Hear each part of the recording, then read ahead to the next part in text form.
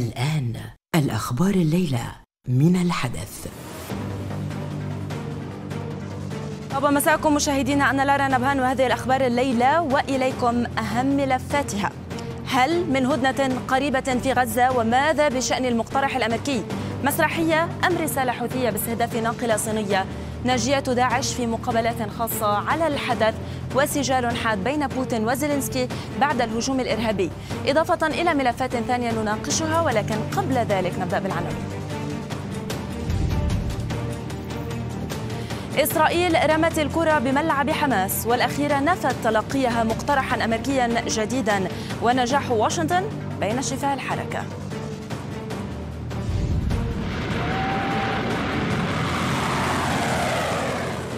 صواريخ الحوثي تخرق الوعود. ناقلة صينية تتعرض لقصف. وفي الأخبار الليلة نبحث تبعات هذا الهجوم على العلاقات الصينية الإيرانية.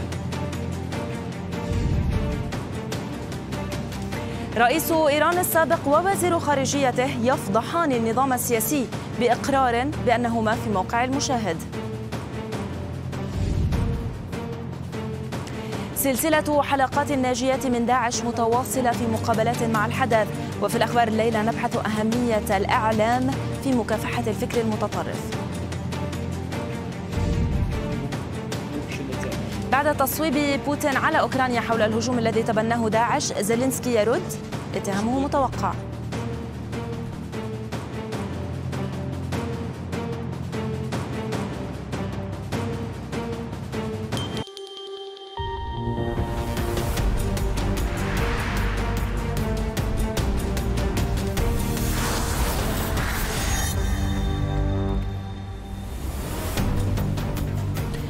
البداية من غزة فعلى وقع القصف المتواصل والهدنة المفقودة اقتحمت قوات إسرائيلية مستشفيي الأمل وناصر في خان يونس جنوب القطاع وسط قصف عنيف وإطلاق نار كثيف بحسب ما أعلن الهلال الأحمر في غزة. هذا وتحاصر آليات إسرائيلية مستشفى الأمل وتقوم بأعمال تجريف واسعة في محيطه فيما جميع طواقم المستشفى تحت الخطر الشديد حاليا بحسب الهلال الأحمر. في الموازاة أفادت هيئة البث الإسرائيلية بأن الجيش تمكن من اعتقال فلسطيني وصف بالصيد الثمين خلال عمليته في مجمع الشفاء الطبي شمال غزة.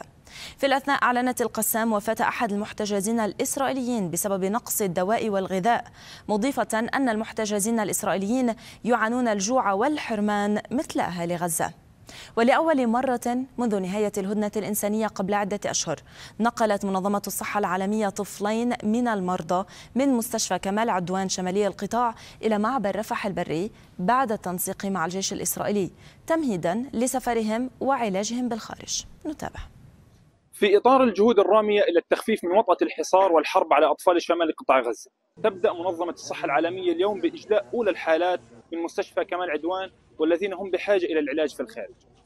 لا سلامتك حبيبي منذ شهرين يعني اشتدت أزمة سوء التغذية والمجاعة في شمال قطاع غزة وبعد ما توافد أعداد كبيرة من الأطفال إلى مستشفى كمال عدوان وبعد توجيه مناشدات لأكثر من شهرين وجهنا نداءات استغاثة للمجتمع الدولي وللمجتمع وللمنظمات الإنسانية لنقل الحالات حتى يتم تأمينهم في مكان آمن لتقديم الخدمة الصحية الآمنة. طبعا كان ممكن إحنا نتغلب على هذه المشكلة إذا كان إذا كان أو إذا تم توفير ما يلزم من حليب خاص من أطعمة خاصة من طعام خاص لهؤلاء الأطفال لكن للأسف الشديد عدم وجود الطعام في في في شمال قطاع غزة على وجه الخصوص أدى إلى تفاقم هذه الأزمة. طبعا بعد شهرين من المناشدات لكل الجهات المعنية الحمد لله اليوم وصل يعني منظمة الصحة العالمية والآن جاء نقل حالتين من أصعب الحالات اللي خارج طبعا قطاع غزة هناك العشرات من الحالات إن لم يكن إسعاف لهذا الموقف أتوقع إما سنكون أمام تحويل آخر وإما سنفقد هؤلاء الأطفال. بشكر كل واحد ساعدنا في انه نطلع ومنظمة الصحة والدكتور حسام وكل واحد ساعدنا. شكرا كثير لكم وأنا مبسوطة وإن شاء الله نرجع سالمين. يا رب. يأمل أهالي المرضى أن تكون هذه العملية هي جسر عبور وأمان للوصول إلى السفر إلى الخارج. في ظل عدم خروج أي أحد من المرضى منذ انتهاء الهدنة الإنسانية الأخيرة. من شمال قطاع غزة عبد القادر صباح لقناتي العربية والحدث. إذا تبقى غزة تحت القصف والهدنة بين المماطلة والرد والرد على الرد. إسرائيل قالت إنها توافق على المقترح الأمريكي ورمت الكرة بملعب حماس. ونقلت إذاعة أحرونوت عن مسؤولين إسرائيليين أن وفد التفاوض سيعود للدوحة إذا قدمت حماس ردودا إيجابية.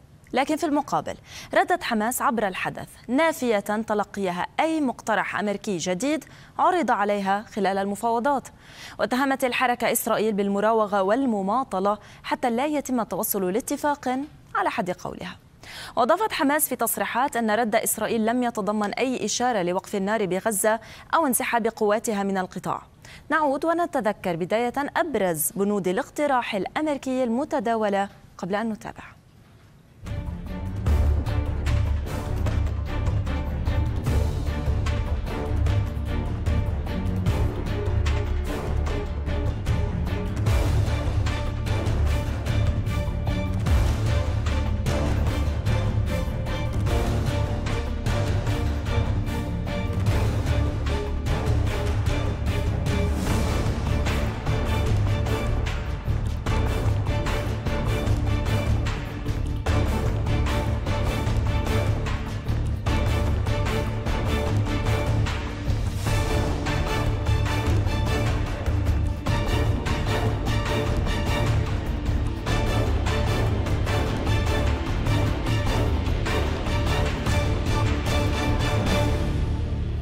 بداية أن يعلم الجميع أن آه، رد المقاومة طوال آه، عملية التفاوض كان واقعيا وإيجابيا بينما رد العدو الصهيوني كان سلبيا طوال هذه الفترة. لذلك نقول أنه لا توجد إرادة سياسية لدى الجانب الإسرائيلي للوصول إلى أي اتفاق. الوفد الإسرائيلي آه، خلال هذه الفترة لم يبدي أي موقف يساهم بالتوصل لاتفاق وما يتم تداوله من خلال وسائل الإعلام عن وجود أجواء إيجابية في هذه الجولة هو تضليل يتحمل آه، الاحتلال المسؤولية عن ذلك. وكانت هيئة البث الإسرائيلية قد نقلت اليوم عن مسؤول إسرائيلي رفيع أن تل أبيب وافقت على اقتراح التسوية الذي طرحته الولايات المتحدة. كما أضاف أن إسرائيل تنتظر الآن إجابات من حماس وأن أمامها ثلاثة أيام للرد. وكان تقارير صحفية أفادت بتقديم وكالة الاستخبارات الأمريكية CIA مقترحا لوفدي إسرائيل وحماس في الدوحة بشأن الأسرى الفلسطينيين. ونقلت وسائل إعلام إسرائيلية في وقت سابق أن الوفد الإسرائيلي عاد للتشاور مع نتنياهو وطلب منحه مزيدا من الحرية في المفاوضات من أجل إبرام اتفاق تبادل الرهائن والمحتجزين لدى حماس.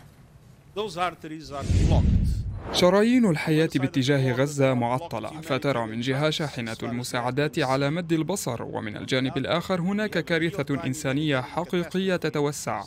بالنظر إلى غزة يبدو أن أهوال الحرب من مجاعة وموت تخطت الحدود. لذلك فإن الوقت لوقف فوري للنار هو الآن. المعاناة يجب أن تتوقف. وهناك الكثير للقيام به والفلسطينيون في غزة يحتاجون لما وعدوا به. وليس عمليات إنزال جوية ولإنجاز ذلك هناك خطوات عملية.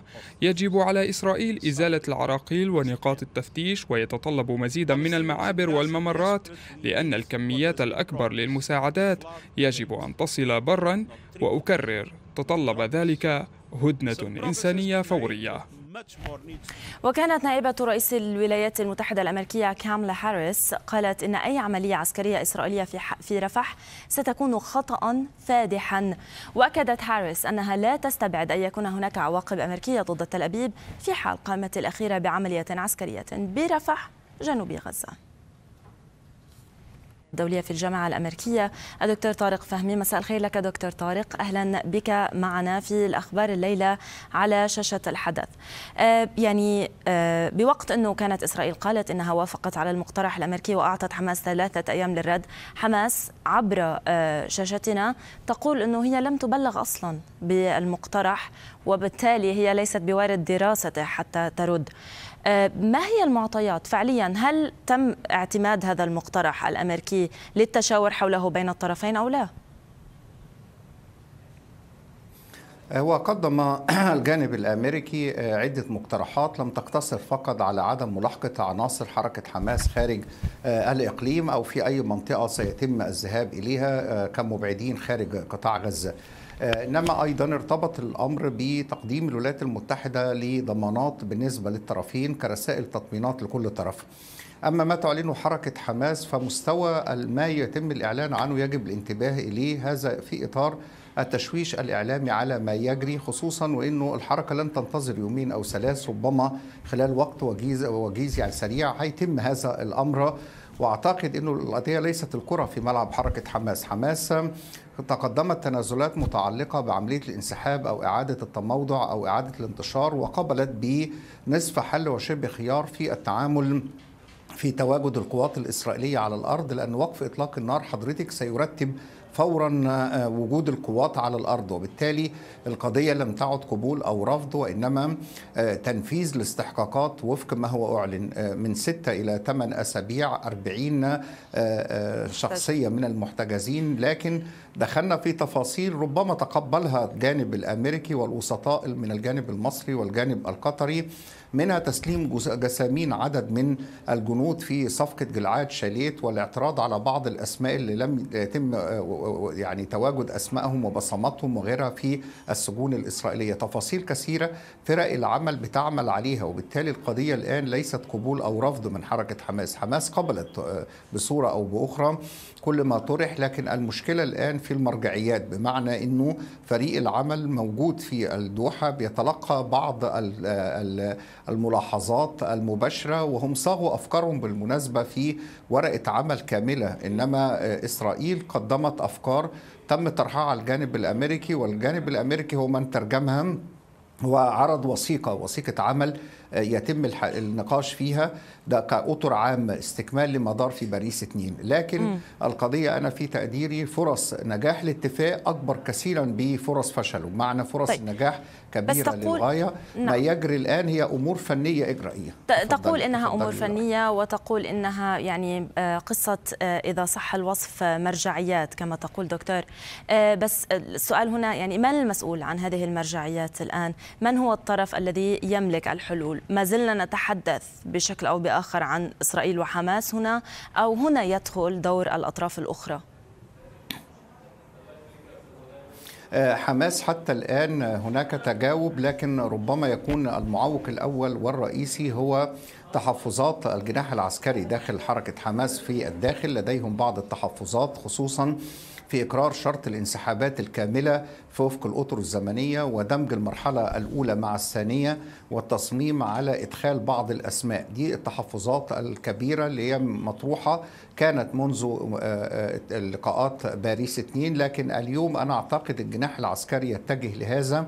يريد أن يكسب وقتا يريد أن يستثمر الوقت في إعادة تجميع قوته مرة أخرى خصوصا في مناطق الشمال وفي خان يونس وفي مدينة غزة وهذا ما تخشى إسرائيل بالمناسبة. يعني إسرائيل تتخوف من ترك الأمور بهذه الصورة. الرابح مما يجري ستكون حماس وليست إسرائيل فقط لطبيعة ما يجري في القطاع. حماس قدمت تنازلات وهذه التنازلات بطبيعة الحال لتمرير الاتفاق. لكن ما تسمعينه وما تشاهدينه من تعليقات بعض المسؤولين في حماس في الأقاليم هو الذي يدفع بهذه الصورة وبالتالي لا يفهم هذا أن هذا هو موقف حماس. حماس يمثلها وفد حماس من الخارج ومن الأقاليم وبالتالي الداخل لديه تحفظات عديدة في هذا السياق ربما لتحقيق أعلى مكاسب وهذه أمور خاصة بالتفاوض. الجانب الإسرائيلي لم يلتزم بشيء لم يلتزم بموضوع الانسحابات الكاملة وتحدث عن إجراءات أمنية وتحدث عن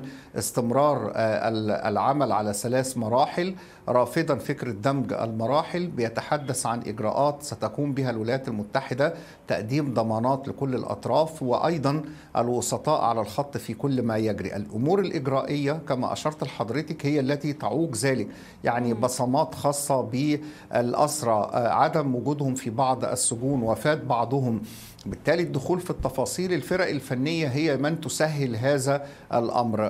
طبعا الجانب الإسرائيلي حصل على التفويض النهائي يعني دعيك من موضوع أنه رئيس الموساد يعوز ورئيس ورئيس شين بيت شاباك يعود ليأخذ تفويض مجلس الحرب. يا سيدتي وافق ولم يبدي أي تحفظات تعجيلا بمحاصرة نتنياهو. نتنياهو الآن في مأزق لأنه وزير دفاعه في واشنطن كما تعلمي أمس أيضا كان وزير الشؤون الاستراتيجية ومستشار مستشار الأمن القومي في ضغوطات على نتنياهو من قبل الجانب الأمريكي وللأمانة نعم. تقتضي أن نقول أن الجانب الأمريكي تغير سلوكه لرى بصورة كاملة خلال ال 48 ساعة الماضية ودخل في تفاصيل كثيرة لتقريب وجهات النظر ومحاولة تسهيل عمل فرق الفرق العمل في الأمور المتخصصة وأبدى كثير من الملاحظات لتمرير الاتفاق شكرا جزيلا لك على كل هذه الإيضاحات. ضيفنا من القاهرة أستاذ العلاقات الدولية في الجامعة الأمريكية الدكتور طارق فهمي.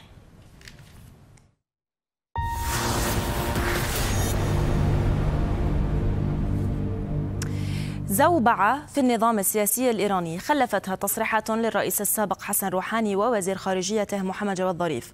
خلاصتها أنهما من موقعهما مشاهدان للأحداث من على شاشات التلفاز بدل المشاركة بها أو حتى إقرارها.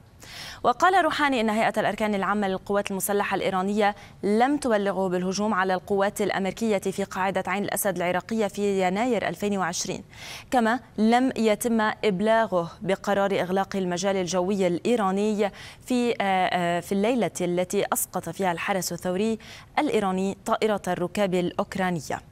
ونشر الموقع الرسمي لروحاني منشورا نفى فيه ادعاء صحيفة كيهان بأنه كان نائما وقت هذا الهجوم على قاعدة عين الأسد في العراق وقال خلافا لكذبة كيهان في واقع الأمر لم يتم أصلا إبلاغ الرئيس وكشف الموقع أنه علم بالهجوم على عين الأسد صباح يوم الثامن من يناير من خلال النشرة الإخبارية على التلفزيون الإيراني.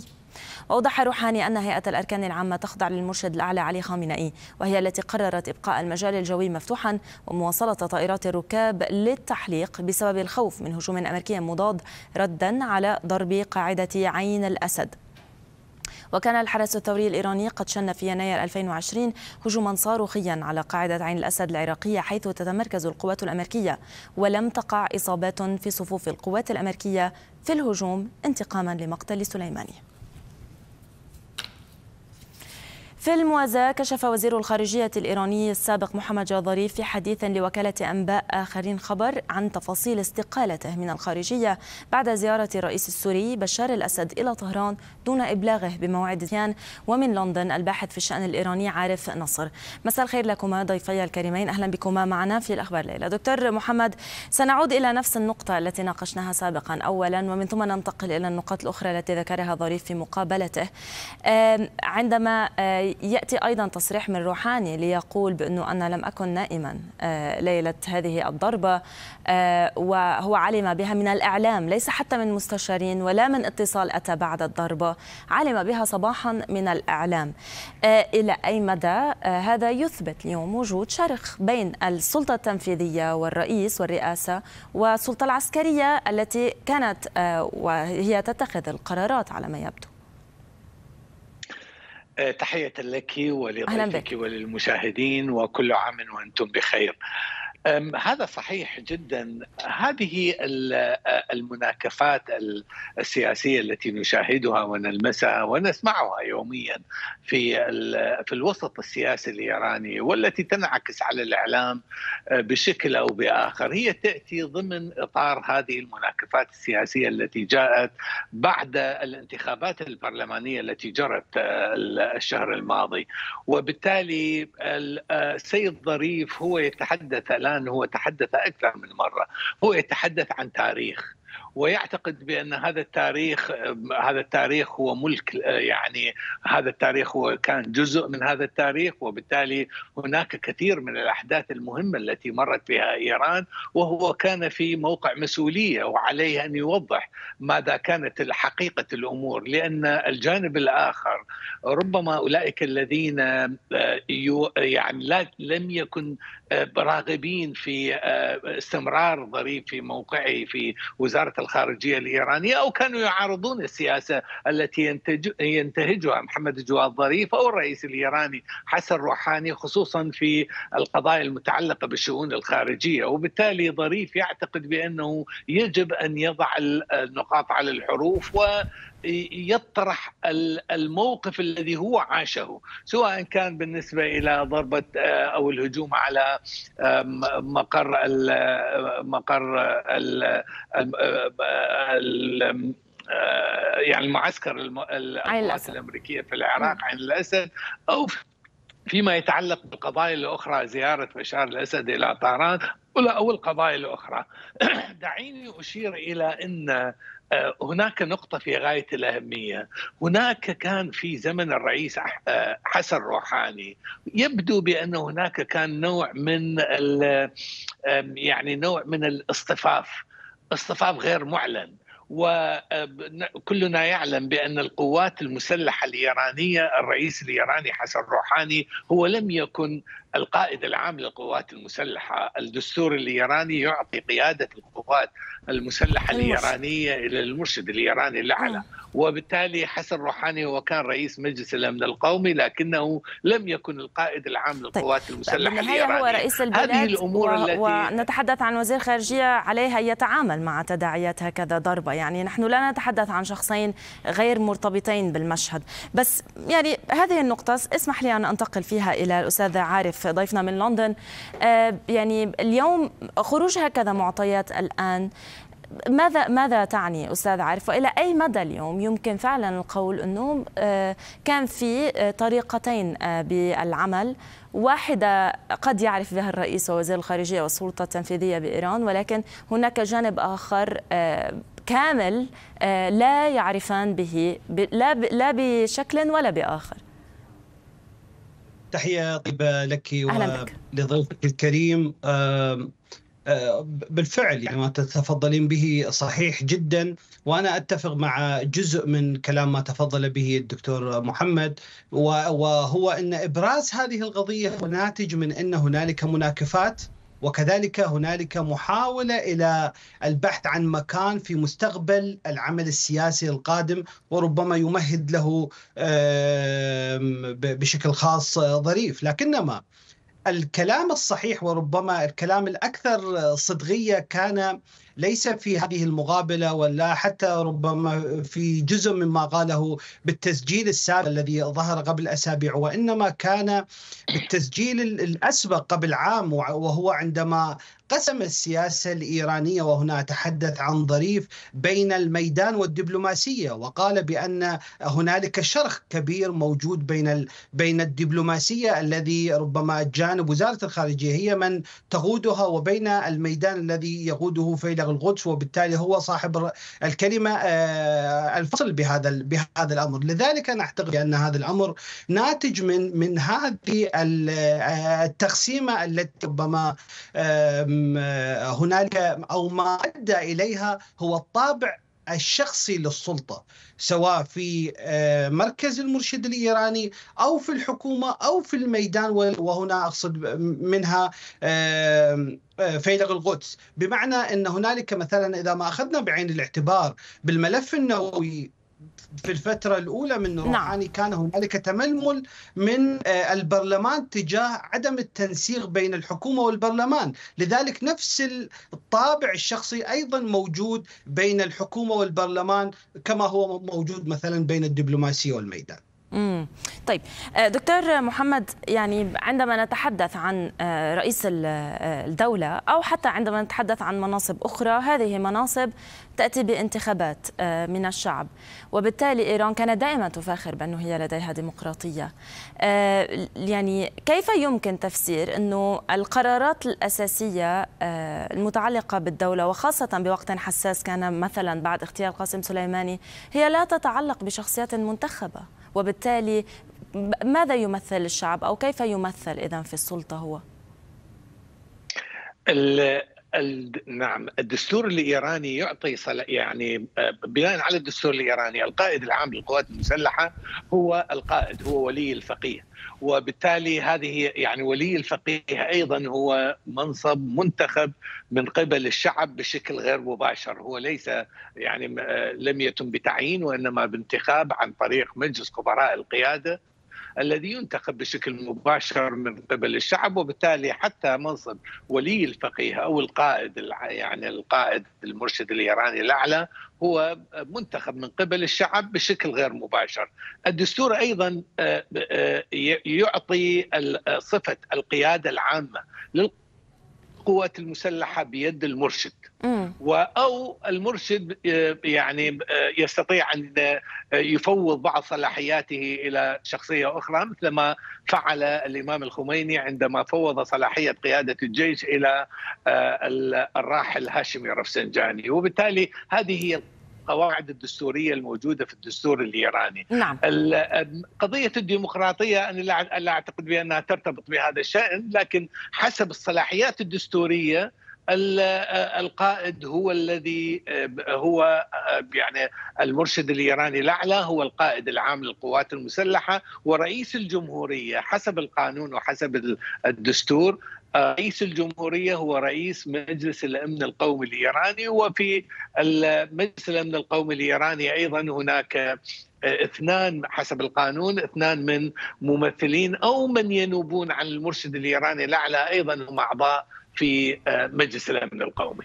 أستاذ عارف لا أعرف إذا كنت ستوافق أيضا هذه المرة مع دكتور محمد كذلك بهذه النقطة ولكن هل الشعب فعلا هو من يختار بشكل غير ولو حتى يعني بشكل غير مباشر المرشد خاصة أنه نتحدث عن مجلس نصفه يختاره المرشد والنصف الآخر يتم اختيار المرشحين عنه. نعم كما تفضلت ب... نعم تفضلي. روحاني برفض رفض ترشيحه أصلا مثلا أو إعادة ترشيحه. يعني؟ أنا أعتقد بغ... يعني ربما حتى إذا كان هذا السياق انه نعلم بأن بأن كل الدساتير بالعالم تدعي بأنها ديمقراطية ولا يوجد أو لا توجد دولة بالعالم تقول بأنها غير ديمقراطية. وربما لم يعد في دول مثل إيران الانتخابات مؤشر على على مستوى الديمقراطية ذلك أن هنالك عدة طرق للالتواء والالتفاف على روح الديمقراطية، الديمقراطية هي روح وليس مجرد حبر على ورق. لكنما بالعودة إلى إلى ربما السؤال أنا أعتقد بأن هنالك نقطة أخرى يجب أخذها بعين الاعتبار وهي الإيمان الإيراني بأن جزء من الحكومة الروحانيه كانت تتخابر مع الغرب كيهان قالت قالت هذا مرارا وتكرارا؟ وتم اتهام روحاني وتم اتهام حتى ظريف بأنهم كانوا يتخابرون مع الغرب وبالتالي عدم ثقة موجودة في في إيران بين أجنحة المختلفة للسلطة. بل حتى ربما شخصية مثل علي لاريجاني تم رد صلاحيته على اعتبار أن مثلا لديه ارتباط مع بريطانيا ونعلم بأن عائلته تسكن في بريطانيا. لذلك هذه هذا الجانب أيضا يجب أخذه بعين الاعتبار وهو إن هنالك عدم ثقة باتت بين أجنحة السلطة وهذه العد... وهذه الدرجة من عدم الثقة ربما هي التي تجعل من من من غرف مغلقه كثيرة داخل أجنحة السلطة يتم طبخ القرار السياسي من خلالها وليس الآليات الدستورية والآليات الديمقراطية. طيب من ناحية ثانية أيضا دكتور محمد المشهد أيام روحاني ومحمد جواد ظريف لم يعد موجودا اليوم بحسب وصف البعض من كان كانوا يوصفوا بالمعتدلين بالوسطيين بكل هذا التيار أصلا لم يعد موجودا بالحكم. هل فعلا تمت إزاحته من الحكم لعدم يعني أصلا وجود أي شرخ بعد الآن بين السلطة التنفيذية والميدان كما سماه سيد عارف؟ الآن الأصوليون المتشددون من خلال نتائج الانتخابات البرلمانية التي جرت هم الذين يسيطرون على البرلمان الإيراني الحكومة الإيرانية أيضا. هم من الأصوليين المحافظين وبالتالي أكثر مراكز القرار حاليا. في إيران هي بيد الأصوليين سواء كانوا معتدلين أو متشددين لكن هم بيد الأصوليين. الإصلاحيون الآن ليسوا في مراكز القرار وبالتالي حتى أنهم لم يدخلوا الانتخابات بقوائم ما عدا قائمة قائمة معتدلة هي في الأساس هي أصولية وليست محافظة والتي راسها علي مطهري. باسم صوت الشعب لكن نعم. بشكل عام هناك تشدد في البرلمان القادم وهناك سيطرة من قبل الأصوليين على كل مراكز القرار حاليا في إيران. المحا... الإصلاحيون سواء كان يعني محمد جواد ظريف أنا لا أقسمه ولا أضعه في خانة الإصلاحيين في إيران. محمد الجواد ظريف ومستقل ومعتدل نعم. ولديه نظريات بخصوص العلاقات الخارجية الإيرانية ولا زال هو يؤكد على هذه النظريات الذي التي يؤمن بها ويروج لها أيضا وينظر لها سواء كان في الجامعة أم في أماكن أخرى هو نعم. يروج وينظر طيب. لطبيعة العلاقة التي يجب أن تكون بين إيران وال والدول الخارجية أو آه، سواء كان الاقليمي أو الاجنبي. سيد عارف فعليا يعني آه، دكتور محمد يقول إنه هذه نتيجة الانتخابات الآن إنه الأصوليين المتشددين هم من وصلوا إلى السلطة وليس الأطراف الأخرى. آه، وهو يقول ان هذا يعني يعكس إرادة شعبية بس. فعليا هل هذا ما حصل بهذه الانتخابات وبالتي سبقتها؟ يعني الشعب يريد الأصوليين المتشددين؟ يعني نحن نعلم بأن نسبة الانتخابات لم تتجاوز ال 41% وما كانت العزوف عن الانتخابات سيد الموقف وضمن ال 41% هنالك الحديث بأن أكثر من 10 10% آه، هي أصوات بيضاء آه، أو جاءت حتى آه، تسب ربما شخصيات معينة بالنظام. ولذلك أنا أعتقد بأن مؤشر الديمقراطية لا يمكن تحديده من خلال الانتخابات في إيران. بمعنى إن آه، صعود الأصوليين المتشددين هو نتاج ربما أكثرية لا تؤمن بالنظام نفسه، لذلك من يأتو هو هنالك اصطفاف جديد بات ربما آه، بين آه، شعب يعزف عن الانتخابات نعم. ولديه أطروحات مختلفة عن النظام وبين ربما نظام تسلح وبدل جميع أجهزة الديمقراطية في الدولة إلى إلى معسكرات وبالتالي هنالك أنا أعتقد بأن صراعية باتت بين الحكومة والمجتمع كما يتحدث عنها التاريخ الإيراني عادة ما إذا ما كانت هنالك ديكتاتورية يكون هنالك صراعية حالة صراعية وأنا أعتقد بأن هذه الصراعية نعم. باتت أكثر تحديدا وأكثر وضوحا في إيران شكرا جزيلا لك. ضيفنا من لندن باحث في الشأن الإيراني عارف نصر والشكر موصول لضيفنا من طهران مدير المركز العربي للدراسات الإيرانية الدكتور محمد صالح صادقيان شكرا لكم. في هذه النشرة أيضا ولكن بعد الفاصل. موسكو تحت تهديدات جديدة وهلع على متن طائرة بسبب قنبلة كاذبة.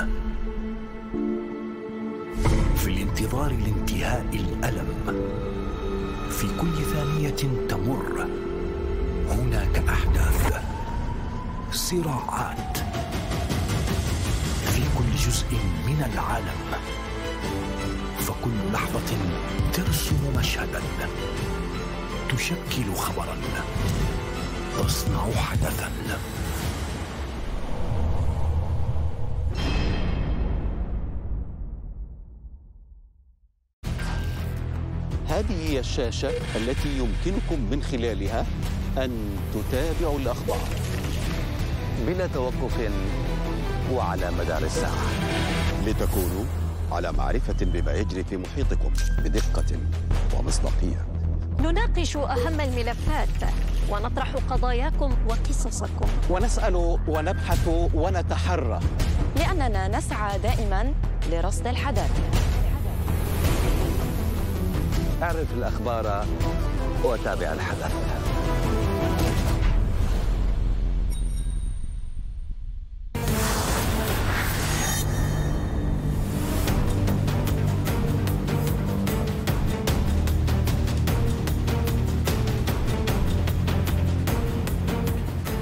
بكم من جديد أخلت قوات الأمن الروسية مركزا تجاريا في شمال مدينة سانت بيترسبرغ بعد ورود بلاغ عن وجود قنبلة. وأوضحت وسائل اعلام روسيه أن الأمن اعتقل الرجل الذي أبلغ عن وضعه للقنبلة ويعمل حاليا على آه، خبراء المتفجرات أو يعملون على تفتيش المركز التجاري بحثا عن وجود أي قنابل أخرى. أفادت وسائل إعلام روسية بأن قوات الأمن اعتقلت مسافرة في مطار شيرمتيفو بموسكو بعد إبلاغها عن وجود قنبلة في حقيبتها. وأوضحت المصادر أن قوات الأمن فتشت الحقيبة ولم تجد بها أي قنبلة. المسافرة كانت على متن طائرة متجهة من موسكو إلى العاصمة الأرمينية يريفان وأبلغت طاقم الطائرة بوجود قنبلة معها وكانت تتصرف بعدوانية بحسب وسائل الإعلام الروسية.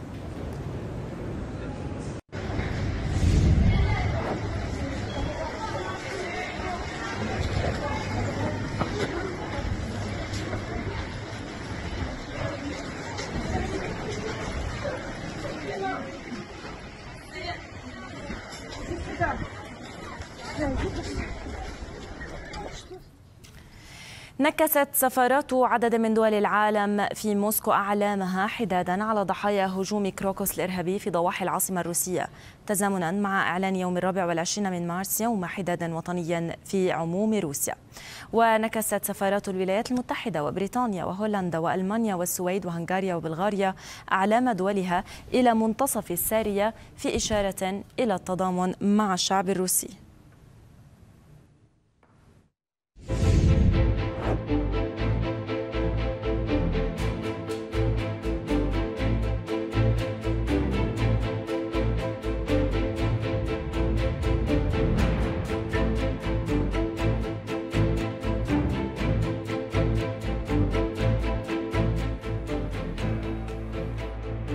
نشرت لجنة التحقيق في هجوم كروكوس الإرهابي بضواحي موسكو مقطع فيديو لتسليم منفذي الهجوم من أجل التحقيق معهم.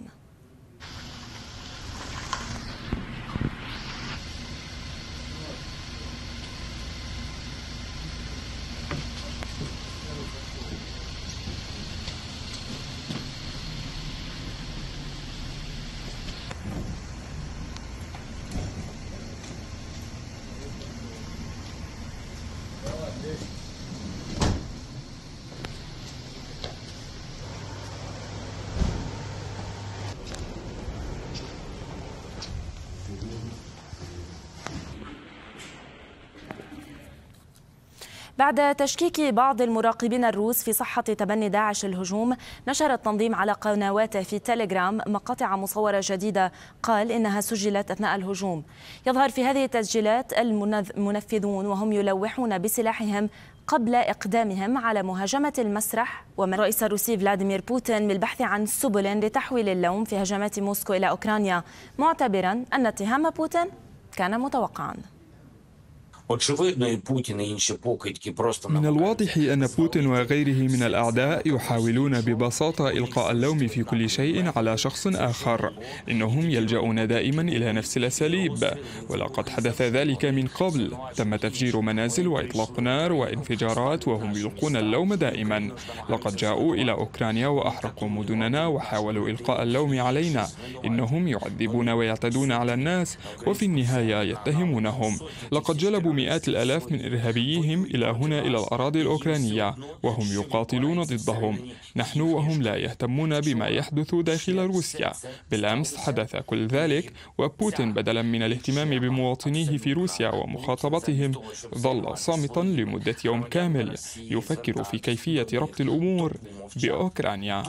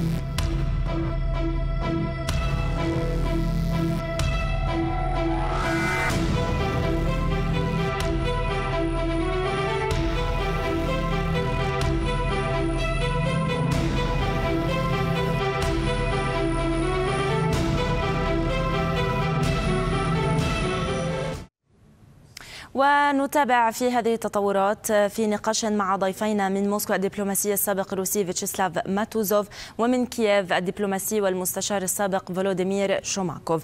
مساء الخير لكما أهلا بكما معنا في الأخبار الليلة. سيد ماتوزوف يعني آه، زيلينسكي يقول اليوم إنه الاتهام الآتي من الرئيس الروسي كان متوقعا بوقت إنه آه، هناك أسئلة اليوم تطرح آه، فيما داعش يحاول نشر فيديوهات يحاول التأكيد على أنه وراء هذا الهجوم رئيس بوتين لم يشر لداعش ولكن أشار إلى توجههم إلى أوكرانيا. لماذا ذهب إلى اتهام أوكرانيا أو تلميح على أوكرانيا بدون أدلة من جانب الرئيس؟ يعني أنا أقول لكم رأيي الشخصي لما هو استنتاج من كل ما أنا سمعته وشاهدته خلال هذا اليوم آه، في موسكو. أولا أن محاولة اتهام داعش استدمت مع موقف داعش الرسمي.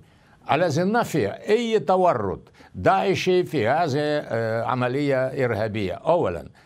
شيء ثاني الآن الحادث غير طبيعي عندما آه، آه، لجنة التحقيقات نشرت الصور آه، كيف يجري التحقيقات صور الحية مصورة نعم.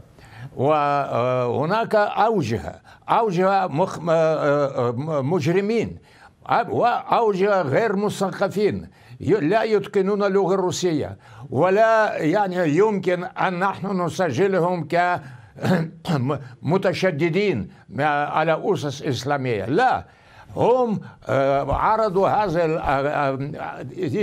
الاستنتاجات آه، لأنهم يشتغلوا لأجل فلوس نصف مليون روبل وهو مستعد أن يأخذ الرشاشة ويدخل القاعة المسرح ليقتل الناس.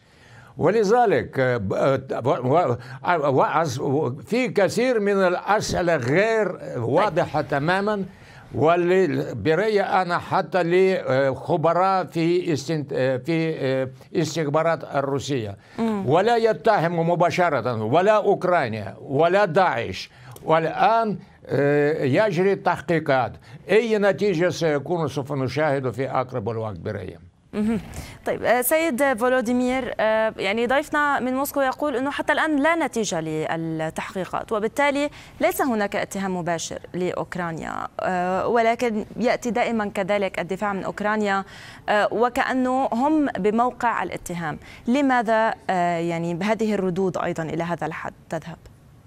نعم السلام عليكم ورحمة الله وبركاته. تحياتي تحياتي من أوكرانيا. لا بالعكس نحن سمعنا اتهامات مباشرة من قبل السيد بوتين ولكن أنا أعتقد شخصيا بأن إن السيد بوتين هو هو مسؤول على ما ما حدث هذه الكارثة لماذا؟ لأن منذ أسبوع حذرت أمريكا واستخبارات أمريكية بأن من المتوقع هجوم داعش ولكن ضحك السيد بوتين وافاد رسميا بان هذا هو بأن أمريكا ترغب زراعه هلع داخل المجتمع الروسي. حدثت هذه الكارثة واليوم نحن نسمع بأن روسيا ترغب آه، وتتهم أوكرانيا بهذا الهجوم الإرهابي. وهي ترغب ربط أوكرانيا مع مع داعش. جدير بالذكر بالمناسبة بأن أوكرانيا هي أيضا عضو لداعش لأن أوكرانيا بلد آه، مسيحية بمقارنة حتى مع روسيا التي تتكون أيضا من المسلمين. على كل حال آه، ليس في صالح حتى لأوكرانيا تنفيذ هذه هجومات ارهابيه لأن اولا أوكرانيا هي بلد ليست إرهابية. داخل موسكو عدد كثير من الأوكران. يعيشون هناك وعواقب اذا أوكرانيا آه، وراء هذه مثلا هذه الهجمات إرهابية. فعواقب لأوكرانيا سوف تكون صارمة جدا. مثلا أوكرانيا لن تحصل على مساعدة من الغرب مساعدة عسكرية وماليه وهذا كمان تشويه السمعه لأوكرانيا. أكيد. أكيد هذا ليست أوكرانيا وراء هذه الهجمات ولكن سؤال مطروح على الطاوله هل داعش أعلن حرب لروسيا؟ جدير بالذكر بأن داعش نعم. هم أعلنوا ثلاث مرات حرب لروسيا. سيد ماتوزوف يعني اليوم أصلا هل ما زلنا نتحدث عن نفس الأسباب التي كانت تدفع بداعش سابقا للتهديد بروسيا هل ما زلنا نعتبرها أنها ما زالت موجودة أم تغيرت الظروف حاليا؟ طبعا هؤلاء الناس غير مثقفين اللي يتكلموا الروسية يجوا آه، من مناطق مختلفة هناك مركز الذي نظم خطط كل هذه العملية العسكرية. هذا لذلك تحقيقات برأيي أنا. هناك تحقيقات من هو منظم من هو مركز الاتخاذ القرار لبدء هذا الهجوم الإرهابي على كروكوس سيتي. ولذلك أنا أعتبر أنه ليست هؤلاء الناس وليست أوكرانيا حتى لأن أوكرانيا ليست لديه إمكانية أن يتدخل بهذا الشكل من إذن؟ إلى موسكو لذلك الآن يدرسون أي مركز أي مركز وكان والري العام في موسكو الآن ينتقل إلى ما هو وين هو داعش داعش هو صنع الولايات المتحدة الأمريكية استخبارات الأمريكية. هذا كلام مش إليك هذا كلام ل دونالد ترامب منتخب رئيسا للولايات المتحدة الأمريكية. بالنسبة للقاعدة موجودة في أفغانستان جنب تاجيكستان هذا كذلك. المؤسسة صنع الأمريكي بن لادن صنع الأمريكي. وكذلك إخوان مسلمين كل هذه المؤسسات متشددين ممولين ويعتمدوا على إمكانيات الدولة الأجنبية. هم آه، وراء هم فقط آه، لوالب. نعم. لوالب لتطبيق هذه العملية آه، إرهابية. بالنسبة لإرهاب ونحن نفهم, نفهم جيدا. انابيب غاز نورد ستريم من هو؟ لحتى الآن آه، آه، نظم هذا العملية الارهابيه غير واضح. طيب لذلك أساليب العمل على طريق هو تشمل تصادم روسيا مع دول غربية. نعم. مع مجتمع ناتو ودول غربية أخ بكل هذه العمليات حتى بنورد ستريم ولكن لنسأل عن هذه العملية هناك اليوم أصابع اتهام تذهب لشخصيات روسية بالداخل أن تكون وراء هذا الموضوع. لرسائل سياسية للرئيس بوتين. يعني هذا هو هذا هو أسلوب.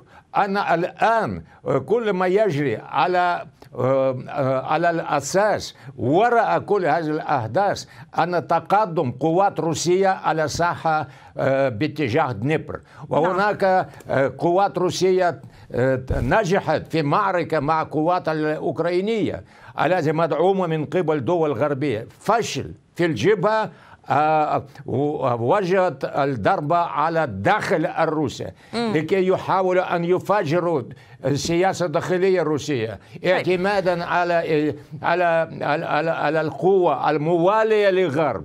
وعندنا موجودة هؤلاء الناس موجودين في روسيا. طيب. وخصوصا آه. بين هؤلاء الذين هربوا اليوم تركوا روسيا موجودين اليوم في إسرائيل.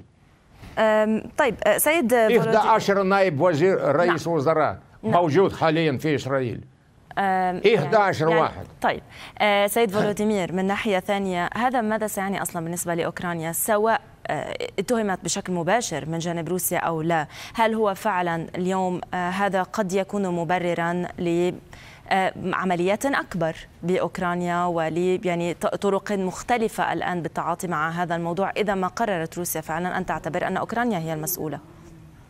آه، نعم آه، بالضبط. حول روسيا بالمناسبة جدير بالذكر بأن داخل روسيا توجد عدد كبير من الحركات القومية التي ترغب انتقام للنظام استبدادي بوتين. جدير بالذكر بأن روسيا أغرقت في الدم شعب شيشيني. الذي أراد الخروج من الاتحاد الروسي ولكن روسيا قتلت في تشيشنيا أكثر من 200 ألف مدنيا لمدة عشر سنوات في حرب روسيا تشيشنيا جدير بالذكر بالمناسبة بأن منذ أسبوعين تم اشتباكات بين عناصر قومية في إنغوشيتيا وبين الجيش الروسي.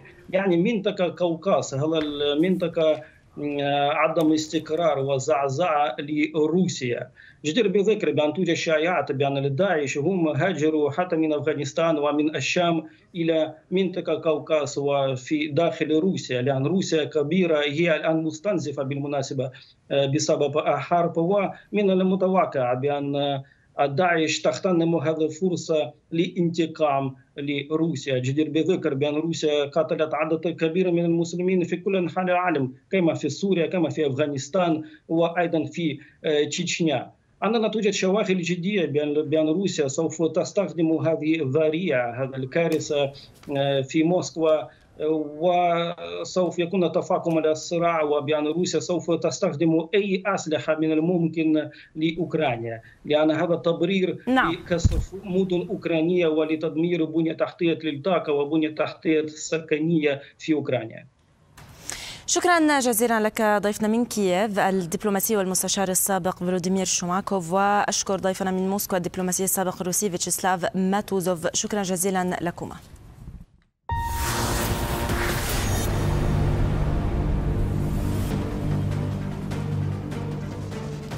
مشاهدينا بهذا نصل إلى ختام الساعة الأولى من الأخبار الليلة. في الساعة الثانية نعود لمتابعة ملفات كنا قد تطرقنا إليها بالساعة الأولى أولها غزة. إلى جانب كذلك ملفات ثانية ونشير إلى أخبار عاجلة كنا ننقلها قبل لحظات من الآن.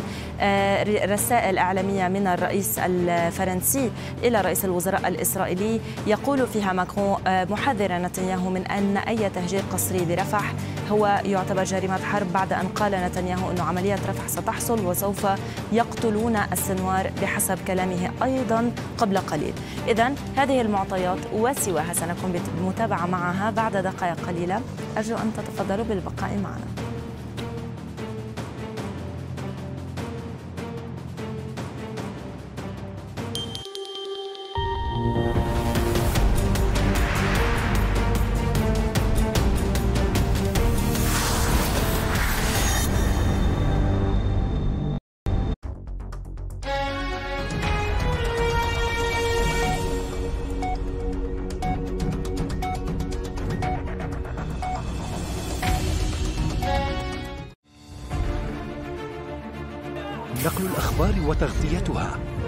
يحتاج التزاما بأخلاقيات المهنة وميثاق العمل الصحفي. فلا تقتصر هذه الأخلاقيات على ما ينبغي قوله أو تصويره بل تكشف للناس ما هو أبعد من ذلك. كي يروا عن قرب ماذا يحدث حقا في كل تغطية إعلامية. فمبدأ التوازن هو المعيار والمصادر الموثوقة. هي المرجع.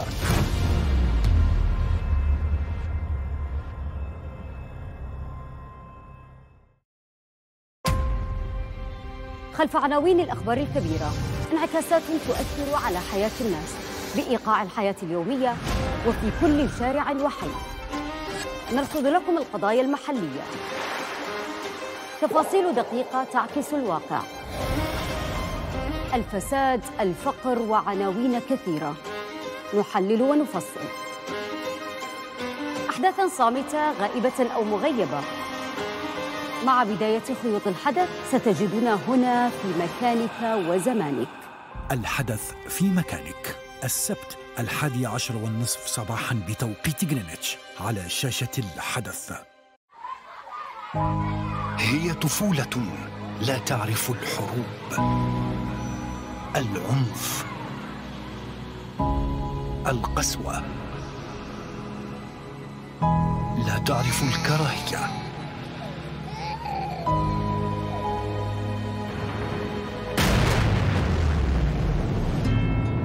لكنها تدفع ثمن كل ذلك.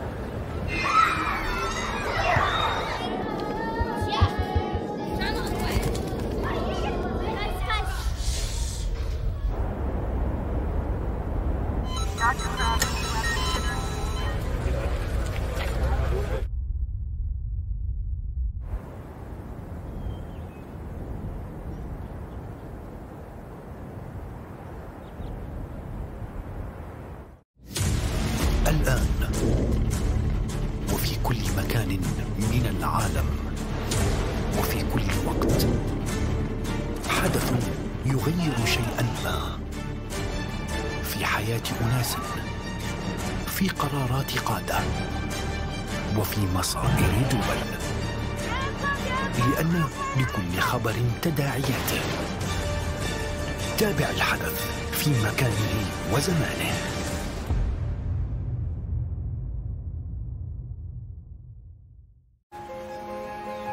نتيجة الاضطهاد والصراعات والعنف. أكثر من 108 ملايين شخص أجبروا على الفرار من ديارهم في جميع أنحاء العالم. في أكثر من 135 دولة. هربوا باحثين عن المأوى عن الغذاء والرعاية الطبية. فالضحايا بالآلاف والأرقام في تزايد والحكايات تختزل بين الصمود والبقاء.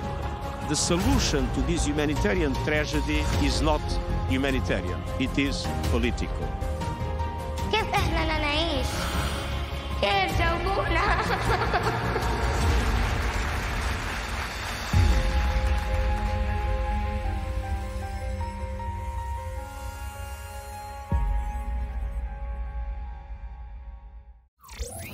أكثر من 22 مليون متابع وما يقارب 475 مليون مشاهدة.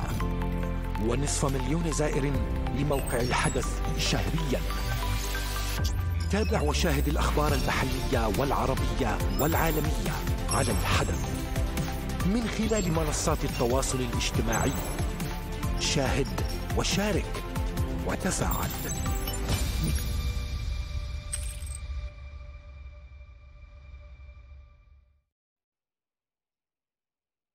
الآن الأخبار الليلة من الحدث. الساعة الثانية من الأخبار الليلة أحييكم وإليكم تذكيرا بأهم الملفات. هل من هدنة قريبة في غزة وماذا بشأن المقترح الأمريكي؟ مسرحية أم رسالة حوثية باستهداف ناقلة صينية.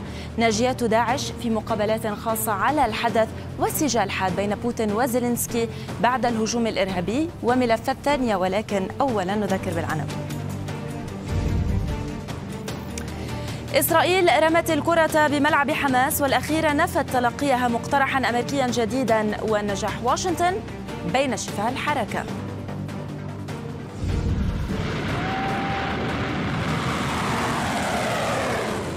صواريخ الحوثي تخرق الوعود. ناقلة صينية تتعرض لقصف. وفي الأخبار الليلة نبحث تبعات هذا الهجوم على العلاقات الصينية الإيرانية.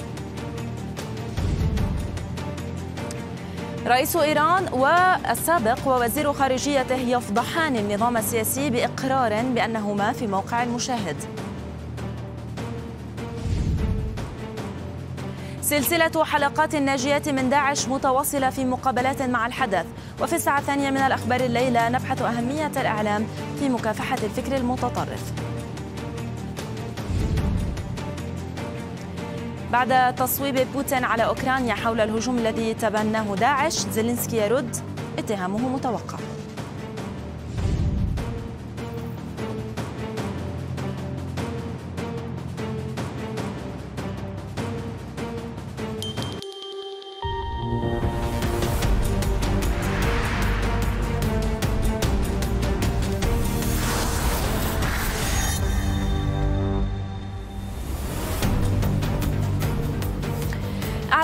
القيادة المركزية الأمريكية أن قواتها اشتبكت مع ست طائرات مسيرة أطلقها الحوثيون وأسقطت خمسا منها في البحر الأحمر في حين تمكنت الطائرة السادسة من الفرار.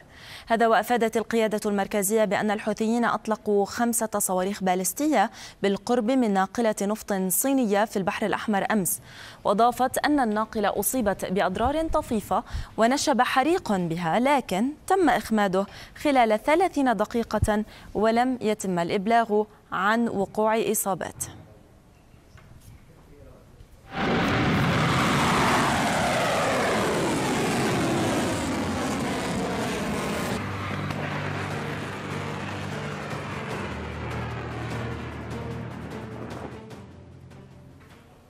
لم يصدق الحوثي حتى مع من يعدهم حلفاء له. فبعد أيام من إبلاغ الميليشيات للصين وروسيا بعدم التعرض للسفن التابعة لدولتين أصابت نيرانها مساء أمس ناقلة نفط صينية قبالة سواحل اليمن الغربية. وفقا وفقا لإعلان القيادة المركزية الأمريكية فإن ناقلة النفط هوانغ بو التي ترفع علم بنما وتملكها وتشغلها الصين أصدرت نداء استغاثة بعد تعرضها للاستهداف قبالة سواحل ميناء المخا اليمنية في البحر الأحمر. القيادة الأمريكية قالت إن الحوثيين أطلقوا خمسة صواريخ على هذه الناقلة الصينية. أربعة منها سقطت قرب السفينة فيما أصابها الخامس وتسبب بوقوع أضرار طفيفة. واشنطن أكدت أن استهداف السفينة الصينية تزامن مع اشتباك مدمرتها المرابطة في البحر الأحمر كارني مع ست طائرات مسيرة حيث قضت على خمس منها فيما تمكنت, تمكنت السادسة من الفرار وفقا للإعلان الأمريكي. وبالعودة إلى تفاهمات الحوثية مع الصين وروسيا والتي كشفت عنها بلومبرغ الخميس الماضي فإن وفد الميليشيات المقيم قدم التزامات لدبلوماسيين تابعين للدولتين يقيمون في مسقط بعدم اعتراض أي سفينة تابعة لهما مقابل تقديم الدعم السياسي للحوثيين في هيئات مثل مجلس الأمن التابع للأمم المتحدة. هذه الأنباء تزامنت مع حملة ترويج حوثية واسعة في مناطق سيطرتهم وحتى في وسائل إعلامهم بإقامة علاقات مع قوى عالمية تقول إنها تنسق معها في مواجهة الولايات المتحدة. تشمل تلك العلاقات وفقا للمزاعم الحوثية كلا من الصين وروسيا إلى جانب بلدان أخرى من مجموعة بريكس. ولكن وقائع الأحداث في البحر الأحمر تؤكد أن لا حليف للحوثي سوى طهران.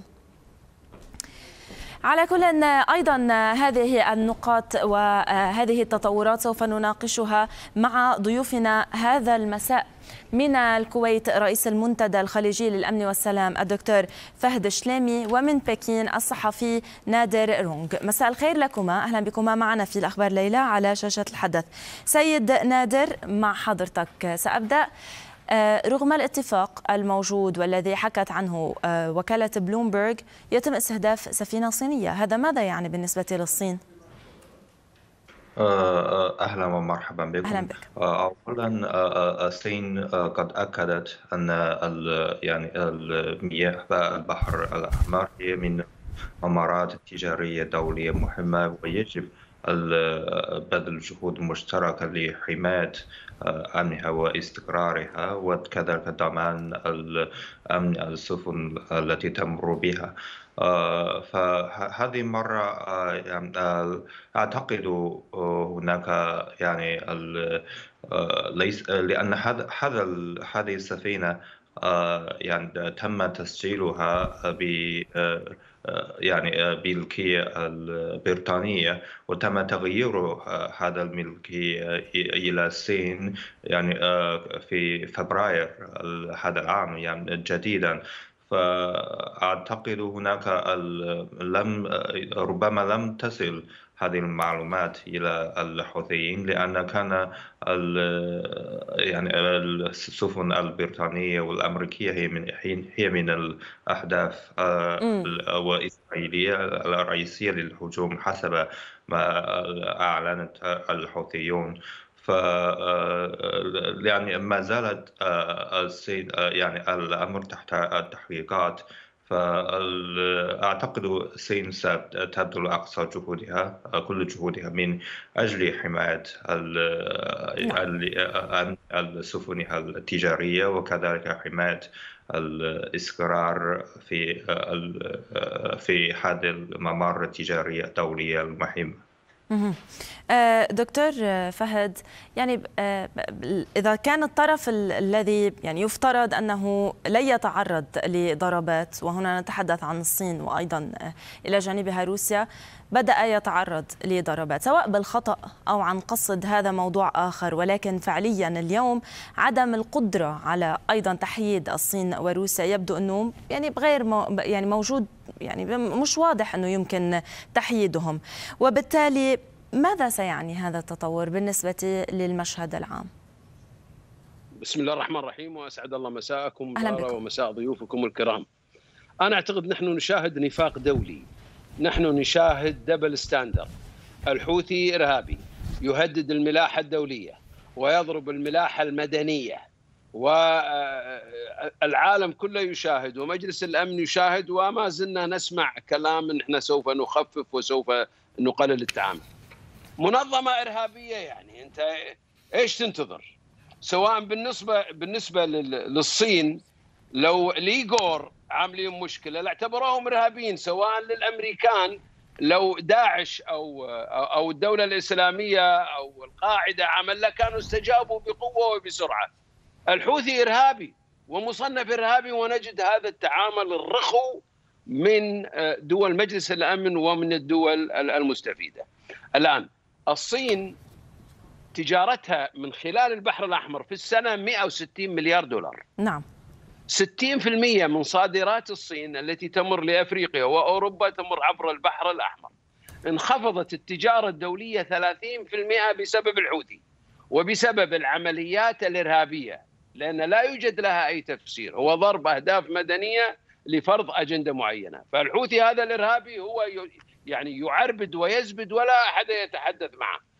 بالتالي لكن الصين لديها علاقات مع إيران، لكن شوف العلاقات هذه كيف. التبادل التجاري كان بينهم جني الأرباح. الصين في سنة ونص في ثلاث سنوات جنت 180 مليون دولار. حجم تبادل السعودية مع الصين 16 مليار دولار. مع الإمارات 3.8 بليون مليار دولار مع الكويت 3.6 بليون كبير ولذلك نجد الموقف الصيني موقف صامت وهذا الموقف الصيني هو السياسة اللي تتبعها الصين هي عبر السياسة الصامتة والتواجد وجود توترات في البحر الأحمر. يجعل الأسطول الأمريكي في بحر الصين ينقسم إلى قسمين. يكون هناك تواجد وهذا يصب في مصلحة الصين. الصين لا تريد الحقيقة أن تخسر إيران ولا تريد أن تخسر دول الخليج. وبالتالي أعتقد هذا الحادث وقع بطريق الخطأ. ومثل ما تفضل الأستاذ نادر وأعتقد ما هي هذه المعلومات الاستخبارية اللي تأتي للحوثي المنعزل الذي هو موجود في صنعاء. من يزوده بهذه المعلومات الاستخبارية؟ نعم. لاستهداف الحقيقة السفن. لذلك الحل الوحيد في رأيي لإنهاء هذا الموضوع هو استهداف قادة الحوثي واستهداف سلامتهم واستهداف أمنهم الشخصي لكي تتوقف. هذه العقلية لا تفهم إلا هذه اللغة في الاستهداف الشخصي لكي تتوقف هذه العمليات التي تؤثر على العالم. تحت ذريعة طيب. هم هم هم يقولون عفوا بس دقيقة لارا. هم هم يقولون نحن ندافع عن غزة. هم قتلوا اليمنيين وفجروا منازل المدنيين في بعض المحافظات اليمنية. وقتلوا المدنيين وهم يقولون الله أكبر اللعنة على اليهود. وهم قاتلين مواطنينهم. الحوثي إرهابي ويجب أن نتعامل معه كإرهابي والعالم ينافق لمصالح بسيطة في إبقاء الحوثي مجرد عامل شقب في ممرات المنطقة. سيد نادر يعني ما الذي يمكن أن تفعله الصين الآن؟ تقول حضرتك انه هناك جهود تبذل من جانب الصين لحماية سفنها، أم أن يعني كما يعني قال دكتور فهد انه استفادة الصين من انشغال الولايات المتحدة الآن بهذه التطورات بالبحر الأحمر، هل ستكون أكبر من المخاطر التي تعانيها الصين من هذه التطورات بالبحر الأحمر؟ اولا هناك يعني الدفعة السادسة وأربعين من السفن الحربية الصينية لحماية الملاح في في هناك في خليج عدن وكذلك في هذه صحيح. المياه وهم سيقومون ب يعني مهمة حماية السفن التجارية والمدنية. وثم الصين كذلك يعني أسلم موقفها هي تعارض أي هجمات ضد المدنيين والسفن التجارية مهما كان يعني الحجة فكذا وفي هذا الجانب الصين ستؤدي دورها وتقدم مساهماتها في الاستقرار في هذه المنطقة وثم الصين لم تحسب يعني هذا التأثير يعني الوضع في لم تربط الوضع في البحر الأحمر بال الوضع في البحر الصيني الجنوبي. فالموقف الصيني واضحة فال البحر الصين الجنوبي هو في الصين لها السيادة عليها ويجب الولايات المتحدة عدم التدخل في فيها. ويجب كذلك الحل يعني يجب حل الخلافات بين دول المنطقة من من خلال التفاوض وعبر مفاوضات أو الحوار هل, هل تقوم الصين بأي شيء مع إيران الآن أستاذ نادر في هذا الإطار؟ هل لديها جهود؟ هي كانت لديها جهود وسيطة بفترات سابقة بموضوع إيران ولكن بموضوع التطورات الحوثية طبعا هناك الاتصال بين الصين وإيران وكذلك الصين أكدت أهمية حماية الأمن والاستقرار في البحر الأحمر في أمام إيران كذلك. وثم هناك أيضا ترى الصين أن هذه التطورات والتصعيد في البحر الأحمر هي أيضا من نتائج التواصل دائرة الحرب في في غزة. نعم والوضع في التصعيد الوضع في الشرق الأوسط في الحل الأساسي هو أن يعني أن وقف إطلاق النار في غزة وكذلك الحل الجذري لمسألة القضية الفلسطينية. وكل هذا يحتاج تحتاج إلى يعني الحياتي وكذلك تحتاج إلى الحل المستدام والحياتي وذلك يجب أن تكون عبر التفاوض وليس عبر الحرب أو طيب. الصراعات المسلحة. التفاوض الذي يتحدث عنه أستاذ نادر دكتور فهد اليوم حضرتك تقول أنه الحل الأنسب هو استهداف القادة الحوثيين داخل اليمن بوقت أنه سيد نادر يتحدث عن تفاوض. ما الأهم؟ ما الأولوية؟ هي القضاء على قيادات الحوثيين اليوم فعليا بالمنطقة أو أنه التأثير على إيران والحديث مع إيران مباشرة بهذه الحالة؟ لن تضغط الصين على إيران بشكل كبير. الصين الحقيقة مستفيدة من هذا الوضع من التوترات الأمريكية والآن الصين أصبح لها تواجد. تعرفين كم القوة اللي موجودة في الصين؟ مش كبيرة يعني هم البحرية المتواجدة في البحر الأحمر. هم بعثوا مدمرة وفرقاطة وسفينة إمداد. آه هذه المدمرة والفرقاطة وسفن الإمداد لم تسقط ولا طائرة ولا صاروخ. هو فقط نوع من التواجد. وهذه الحقيقة سياسة السياسة الهادئة في ظل وجود التواجد واستغلال الثغرات الموجودة، الولايات المتحدة الآن تحاول أن تعوض هذا عبر التدخل في المنطقة، كان لديها سياسة الانسحاب من المنطقة فدخلت الصين بهدوء.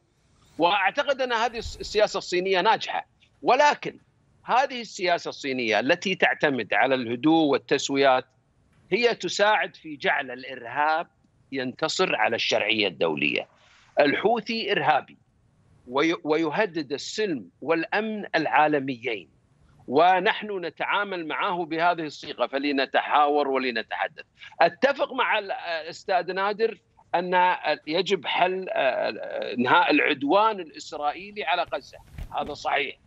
ولكن ما ذنب التجارة العالمية؟ ما ذنب السفن؟ ما ذنب أن يقوم الحوثي بهذا الاستهداف واغلاق الممرات؟ بكرة نعم. كل إرهابي يريد أن يحقق مصالحه يتجه إلى أحد المضايق مثل مضيق جبل طارق ومضيق هرمز وأي مضيق آخر ويفجر وبعدها يتم التفاوض معه بينما هو إرهابي. الإرهاب انتصر على الأمم المتحدة. الإرهاب انتصر على الشرعية الدولية وعلى القانون الدولي مع الأسف. لذلك نحن نحذر من هذا من 2015 الحوثي إرهابي ولا يجب التعامل مع الإرهابيين أو التفاوض معهم دوليا لأن هذا يعطيهم شرعية الحوثي إرهابي في الداخل والحوثي إرهابي في الخارج وبالتالي يجب أن يتم التعامل معه ويجب أن يكون هناك موقف دولي نعم. واحد هذا التذبذب الصيني الروسي هو هو لمصلحتهم لأنه يشتت الجهد الأمريكي ويجعل الصين وهذا من حقها أن تنتشر في مناطق النفوذ الأمريكي وهي البحر الأحمر، الشرق الخليج العربي، والصين دولة كبيرة ولها حق ولها ولنا علاقات جيدة معها. لكن في هذا المسلك لا توجد ضغوط صينية على إيران لأن الصين تريد أن تمسك العصا من الوسط ولا تريد أن تؤذي علاقاتها التجارية الكبيرة مع الخليج ولا تريد أن أن أن, أن تتدخل في الشأن الإيراني لأن الشأن الإيراني يخدم السياسة الأمريكية ويتيح تواجد روسي صيني في البحار وعقد المواصلات الدولية. شكرا جزيلا لك ضيفنا من الكويت رئيس المنتدى الخليجي للأمن والسلام الدكتور فهد الشلامي وشكرا كذلك لضيفنا من بكين الصحفي نادر رونغ. زار فريق المراقبة الفنية التابع لهيئة البيئة اليمنية موقع غرق سفينة الشحن روبي مار قبالة الساحل اليمني وأخذ عينات من مياه البحر.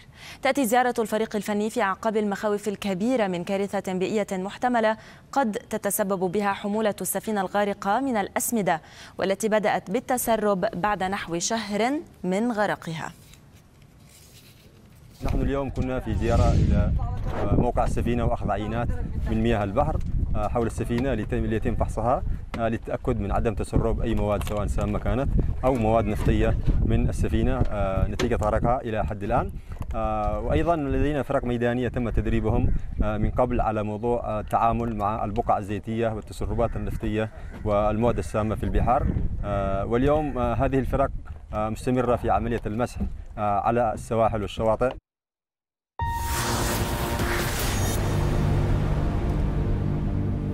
الأخبار ليلة مستمرة وفيها بعد الفاصل. من ناوي إلى الخرطوم در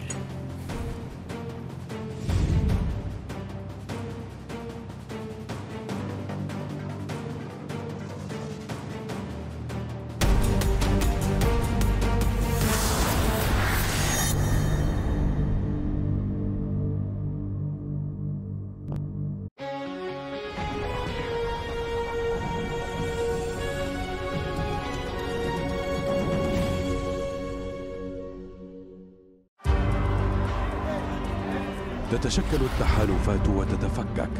نعرف كيفاش ندافع عن استقلال القرار التونسي. مؤامرات معقدة وأجندات مخفية. تلك المرحلة السرية شكلنا المقاومة الشعبية لتحرير فلسطين. وراء الأبواب المغلقة صدرت قرارات غيرت مجرى التاريخ. أيضا أنتم أصحاب الدرب أريد أن أستمع إلى روايتك وأنت كنت حاضر وشاهد. مقابلات حصرية مع شخصيات شهدت تحولات التاريخ يكشفون خبايا السياسة. وضع في عربية حافي القدمين وأخذوه على القف القرارات الحيوية. وصل الجواب للجهة المحنية قالوا انتهى العراق قصصا لم تروى. الرجل في الأرض ميت. تحديت النظام. وحقائق لم تكن معروفة. كان ذلك لإيجاد فجوة بين السعودية وبين الولايات المتحدة. أثبتت مين المسؤول؟ معالي الدكتور؟ طبعا مسؤولون وصناع قرار يفصحون عن خيوط التاريخ المتشابكة. عايزين تقولوا والله الرسالة حتوقع الرئيس. لمحطات تاريخية لأول مرة يمكن عم بحكيها بالصراحة هذه الحكاية معكم من البداية. الذاكرة السياسية. الجمعة العاشرة والنصف على شاشة العربية. كان يوما طبيعيا أو يبدو كذلك. لا شيء يختلف. انتظار انشغال. وسكون. كانت لحظة تسبق الخبر بقليل. ثم يبدأ حدث يؤثر على حياة الناس. تفاصيل تختلف. قصص تتشابه. ويبقى الإنسان هو محور الحدث.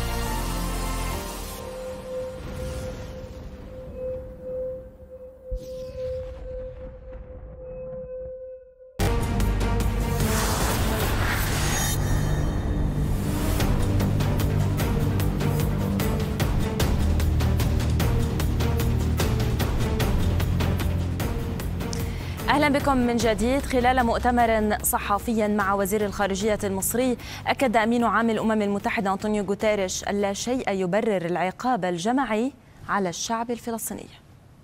Yesterday I traveled بالأمس ذهبت إلى معبر رفح لأسلط الضوء أمام العالم على معاناة الأطفال الفلسطينيين في غزة والنساء والرجال الذين يناضلون ليحيوا وسط الكابوس في غزة.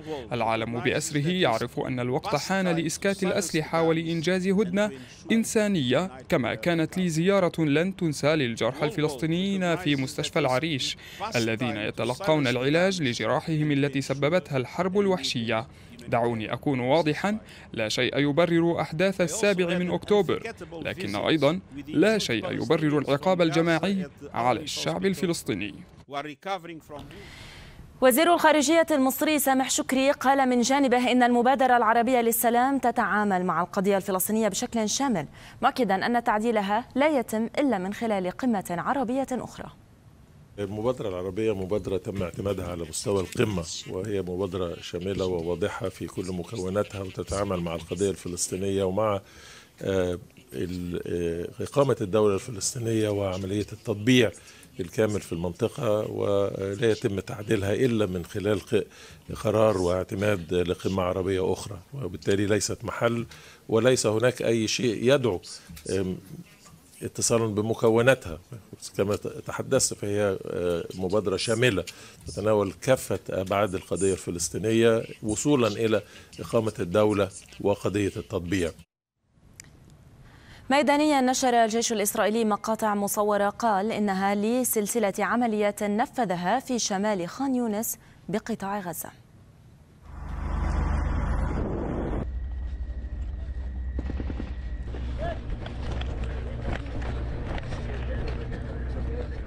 pas quand elle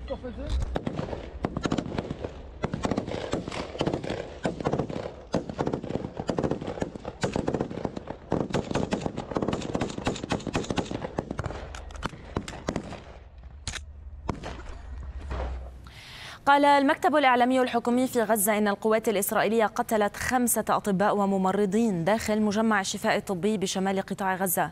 وقال المدير العام لمنظمة الصحة العالمية إن أكثر من 190 من العاملين الصحيين والمرضى محتجزون في مبنى بمستشفى الشفاء في قطاع غزة في ظروف صعبة ضمن عملية عسكرية إسرائيلية بالمجمع. وذكرت وزارة الصحة في غزة أن الجيش الإسرائيلي قصف عدة مبان وأحرق قسما من المجمع.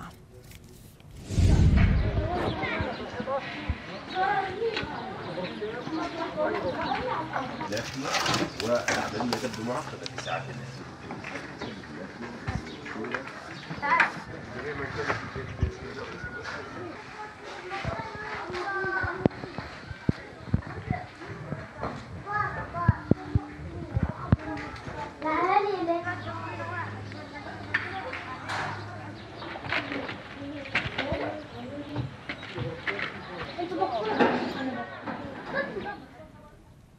معنا من رفح جنوب قطاع غزة مراسل حدث أحمد حرب. أحمد مساء الخير لك. نتابع معك آخر التطورات. نعم لارا آخر التطورات. قبل قليل كان هناك استهداف لمنزل في شرق رفح أسفر عن سبعة ضحايا وعدد من الإصابات وبذلك يرتفع عدد الضحايا في مدينة رفح منذ ساعات الصباح وحتى الآن إلى أكثر من 23 ضحية وعشرات الإصابات وصلت إلى المشافي المتفرقة في مدينة رفح. خان يونس حتى هذه اللحظة هناك حصار لمجمع الشفاء لمجمع ناصر الطبي وأيضا لمستشفى الأمل التابع لجمعية الهلال الأحمر الفلسطيني. عمليا الاتصالات انقطعت في مستشفى الأمل نتيجة هذا الحصار. وانقطعت كافة المعلومات عن الطواقم الطبية في مستشفى الأمل في الساعات الماضية الجيش الإسرائيلي أخلى كافة المرضى والنازحين ممن يستطيع التحرك إلى منطقة المواصي غرب مدينة خان يونس. وبالتالي هناك تسعة مرضى ومرافقيهم داخل مستشفى الأمل. يعانوا الكثير من الصعوبات نتيجة انقطاع الاتصالات والكهرباء. وعدم إمداد المشفى بالأدوية والإمدادات الطبية والوقود وبالتالي الهلال الأحمر الفلسطيني يقول بأن الأوضاع صعبة للغاية داخل المجمع خاصة وأن هناك أعمال تجريف في الشوارع القريبة من مستشفى الأمل ووسط أيضا اشتباكات عنيفة تدور بين وقت وآخر. المشهد الآخر هو في مدينة غزة في مجمع الشفاء الطبي. لازال هناك حصار من قبل القوات الإسرائيلية أعمال تجريف حصار لأكثر من 150 شخص ومن النازحين والمرضى وإطلاق رصاص على عدد من المباني. تم إحراق أيضا أقسام في مبنى الجراحات التخصصي من قبل القوات الإسرائيلية. خارج المجمع لازالت هناك عمليات حرق للمنازل واستهداف والجيش الإسرائيلي يسعى من هذه الاستهدافات بدفع سكان هذه المناطق خاصة حي الرمال ومخيم الشاطئ يدفعهم بالنزوح إلى المناطق الجنوبية وشهد ورصدنا خلال الساعات الماضية حركة نزوح بالمئات من قبل هذه العائلات وقالوا بأن الأوضاع صعبة نعم. في هذه المناطق القريبة من مجمع الشفاء الطبي الجيش الإسرائيلي يقول بأن هذه العملية العسكرية سوف تستمر لأسابيع حتى يتم القضاء على آخر عنصر من حماس أو من الفصائل الفلسطينية سواء كان حيا أو ميتا وبالتالي نعم. الأوضاع في خان يونس ومدينة غزة صعبة للغاية شكرا جزيلا لك أحمد على هذه الإحاطة من رفح جنوب قطاع غزة.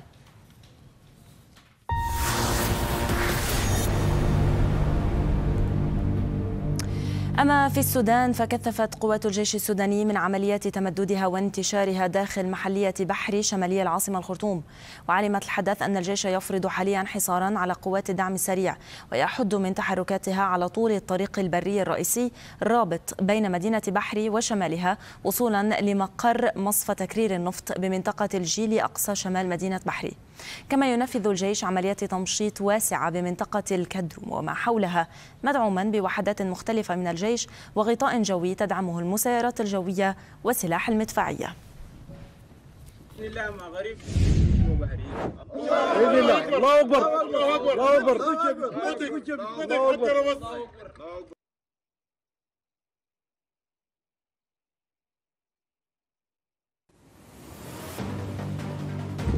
الآن ستوب مبروك الله أكبر. الله أكبر. الله أكبر.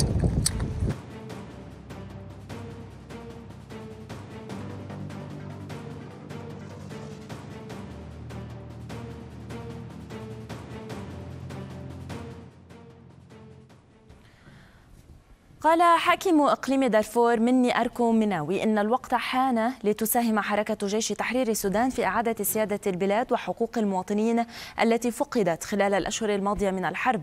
وكشف مناوي في مقطع مصور تحرك قواته إلى الخرطوم لخوض المعارك بجانب القوات المسلحة السودانية.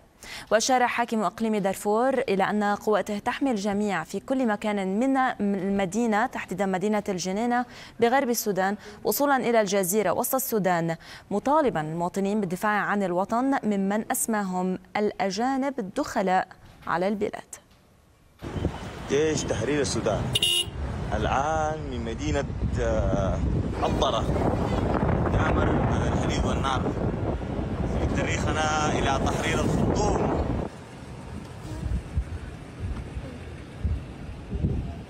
أنا كما ترون المرشال مني أركم الناوي وسيادة الفريق جابر محمد حسب الله وكذلك الفريق جابر إسحاق اليوم بدأ والمرشال مني أركم الناوي الآن في طريقهم نحو مدينة الخرطوم وكذلك نحو مدينة مدني ودارفور. ومن أم درمان معنا لمتابعة تطورات الصحفي في مكتب الحدث في السودان شهدي نادر. شهدي مساء الخير لك. نتابع معك التطورات الميدانية في ظل أيضا ما أعلنه مناوي اليوم.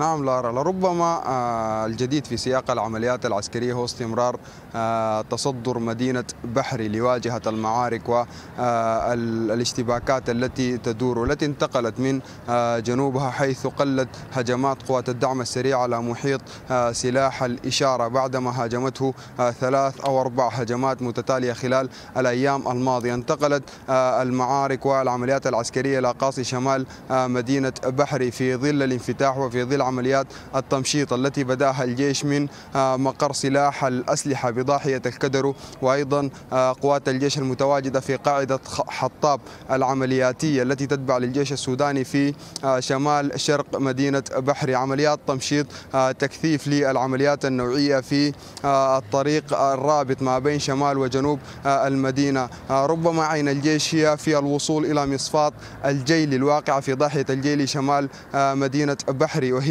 أحد أكبر مصافي النفط المتواجدة في عموم البلاد تتواجد في مدينة بحري كانت قوات الدعم السريع قد تمكنت من السيطرة عليها منذ الشهر الأول لهذه الحرب. يمر عبرها أيضا طريق يربط ما بين قاصي شمال وغرب مدينة بحري بقاصي شرقها. ربما الطرق وخلافه هي عين الجيش خلال الفترة المقبلة.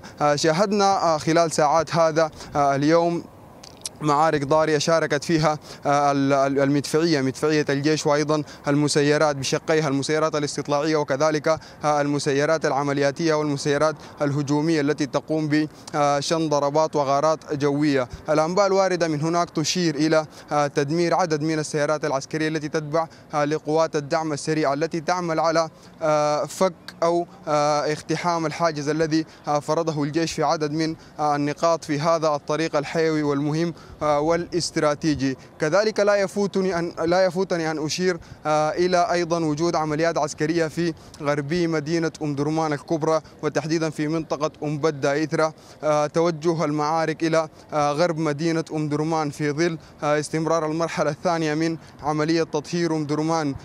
بناء على العملية البرية التي بدأت بنهاية العام الماضي ومطلع العام الحالي والتي كانت محصلتها الأولية هي فك الحصار عن سلاح المهندسين ووصول الجيش وانتشاره في شرق مدينة أم درمان وتأمينه لكافة الضفة الغربية آه، للنيل. كذلك أمر إنساني لابد أن أشير إليه هو استمرار انقطاع التيار الكهربائي لفترة وصلت إلى الخمسة أيام في عدد من الأنحاء داخل مدينة الخرطوم وأيضا في عدد من المناطق بشرق النيل وكذلك مدينة بحري. أيضا مع تذبذب كبير في خدمات الاتصالات في تلك المناطق.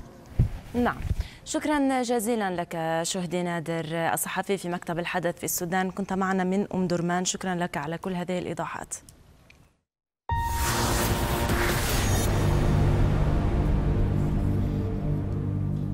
إلى العراق الآن حيث روت ناجيات من قبضة تنظيم داعش في العراق للحدث مآسي وتفاصيل مروعة عايشناها خلال فترة أسرهن على يد مقاتلي وقادة التنظيم.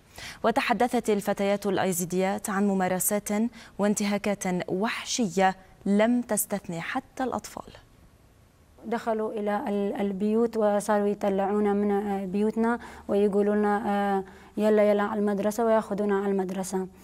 فمن دخلنا على المدرسة آه، صاروا يجمعوا كل اللي بالقرية في المدرسة الرجال والنساء والأطفال.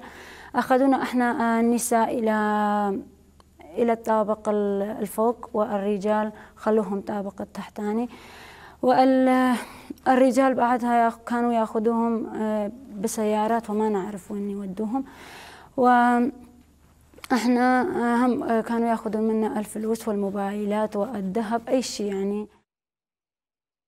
كنت أقول لهم أني حامل وهذا ما كان يعني يفيد بالشيء وهم يعرفوا وما هم عندهم أني كنت حاملة أني كنت آه، أم أني كنت أي شيء آه، كانت آه، عندهم المهم يأخذوني أني سبية. نعم أنجبتي الطفلة في الرقة نعم. نعم أنا أنجبت بنتي في المزرعة وأخذوني بالليل إلى مستشفى في رقة وكانت معاملة معاملة الدكاترة كلش مو زينة وياي حتى كانوا خلوني في المستشفى تقريبا 24 ساعة بدون أكل بدون شرب بدون أي شيء حتى بنتي خلوها بدون حليب يومين الأول اللي أنجبتها. كان اسمه أبو صلاح الإعلامي المغربي. جاء أخذني أني كسبية أني وبنتي هو أخذني إلى بيته. لم يش... لم لم تشفع لك بنتك الرضيعة اللي كانت معك أنه تكوني سبية بالرغم من كل ذلك؟ لا أنا هذيك الوقت قلت لهم بس بس شوفوا بنتي. يعني كيف راح تاخذوني؟ أنا سبية يعني أني أم أني مرأة هل ما ما تسمعون هذا الشيء؟ هو ما كان ابدا ينفع هذا الشيء وهو أخذني بالزور حتى كنت أبكي. هو شال بنتي وقال لي أنا راح آخذ آخذ بنتك. إذا تريدين تجين أو ما تجين راح آخذ بنتك. فاني اضطريت يعني على مود بنتي وأضحي وأضحيت كثير أشياء على مود. تبقى بنتي وياي وأخلصها وياي. المعاملة النساء كانت أصعب من معاملة الرجال في عند الدواعش. أنا كنت أبقى أكثر شيء عند عند زوجتي ومعاملتها كانت كثير مو زينه وياي. استخدمتني كخادمة استخدمتني كسبية استخدمتني كعبيدة استخدمتني عدة أشياء. كانت تجهزني لزوجها ليغتصبني. كانت تجهزني للبيع لأن زوجها يبيعني. فمعاملة النساء هنا كانت أصعب من معاملة الرجال. نعم بعد ذلك انتقلت من من المغربي إلى شخص مغربي آخر. نعم. كيف كيف حدث ذلك؟ آه بعدها بعد سنتين هو آه أنطاني هدية لصديقه أبو محمد المغربي. إذا جينا على الدور النساء هما كان كانوا قوائد هما كانوا عندهم كتيبات مثل كتيبة خنساء وكتيبة حسيبة. أنا اندربت على أيادي النساء على السلاح وكانوا يدربوني على السلاح. إذا جينا على دورهم هما كانوا يستخدمون أحزمة ناسفة حتى أحنا نفجر حالنا إذا إذا صار شيء يفجرونا إذا جينا على دور النساء هما كانوا يشتغلون في الحسبات بالشوارع ويدلوا الطريق الدواعش للناس. معنا من بغداد مدير مكتب الحدث في العراق ماجد حميد لنتابع معه في مزيد من التفاصيل والكواليس لهذه المقابلات. ماجد مساء الخير لك. يعني الموضوع صعب جدا علينا أن نشاهده. يعني معاناة كبيرة قصص مروعة أدلت بها هذه السيدات. ولكن بنفس الوقت نسأل ما الذي لفتك أكثر شيء؟ أنت كنت موجود يعني أمام كل هذه المعاناة. هل كنت تتوقع كل هذه الأخبار أن تأتيك؟ في من النساء الأيزيديات اللواتي قابلتهن؟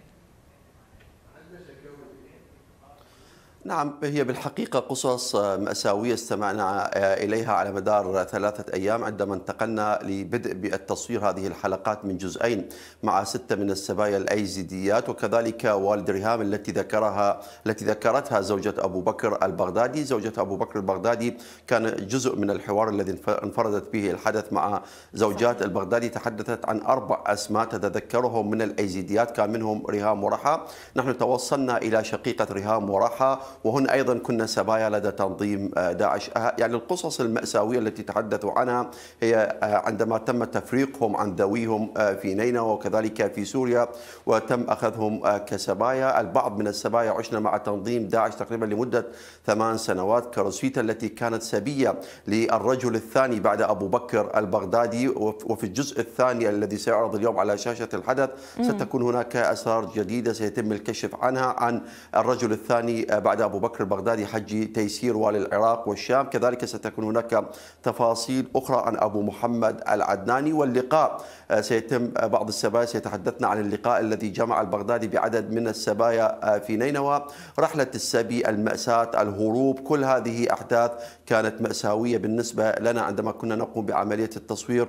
وكذلك عندما تحدثنا بحرقة عن الكثير من الأيزيديات التي ما زلن مختفيات رحى التي كانت هي سبي سبية أبو بكر البغدادي التي ذكرتها زوجته, زوجته إلى الآن هي ما زالت مختفية. كذلك ريهام التي ذكرتها زوجة البغدادي ما زالت مختفية. إلى الآن. هناك روسيتا مثلا والدتها لا تعرف عنها أي تفاصيل والدها لا تعرف عنها أي تفاصيل. يعني المأساة ما زالت مستمرة والكواليس التي تحدثوا فيها عن عملية تدريبهم على السلاح وكذلك إجبارهم على ارتداء أحزمة ناسفة عندما قامت القوات الأمنية والتحالف الدولي بالتقدم للسيطرة على المناطق التي كانوا يسيطرون عليها. ومن ثم بعض الأيزيديات تمكنا من الهرب والأخريات تم بيعهم مرة ثانية إلى عوائلهم وذويهم من خلال مهربين. بالفعل يعني تفاصيل صادمة. آه، آه، بس ماجد كنت تقول أنه ما زال في عيزيديات مصيرهن مجهول. آه، لماذا؟ يعني ما هي التبريرات الأمنية لهذا الموضوع إلى الآن بوقت أنه العراق يقول أنه هو لم يعد هناك خطر لداعش بهذه الطريقة؟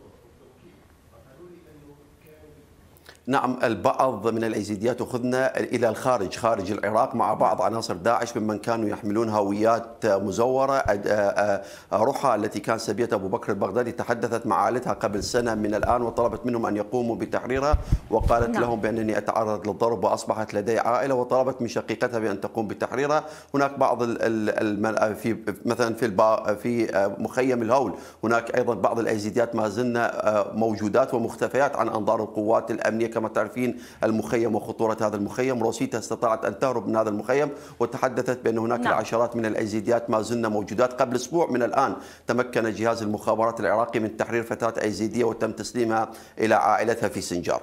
شكرا جزيلا لك على كل هذه الإيضاحات وأيضا على هذه المقابلات على تسليط الضوء على آه، هؤلاء السيدات وما عانينه في آه، الفترات الماضية.